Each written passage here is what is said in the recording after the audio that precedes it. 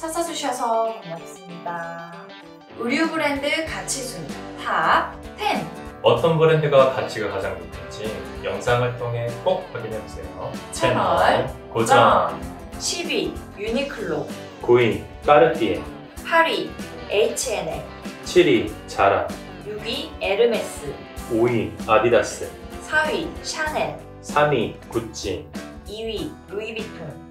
1위 나이키 1위 나이키는 원화로 약 42.8조에 달하는 가치 순위권 중 유니클로는 전년 대비 한화로 4.4조 원 가치 하락 이번 영상은 의류 브랜드 가치 순위에 대해서 알아보았습니다. 다음 시간에는 또 다른 순위 영상 가지고 찾아오겠습니다. 더 많은 영상을 계속 보고 싶다면 구독, 좋아요, 알람 꼭 잊지 마세요. 지금까지 시청해주셔서 고맙습니다.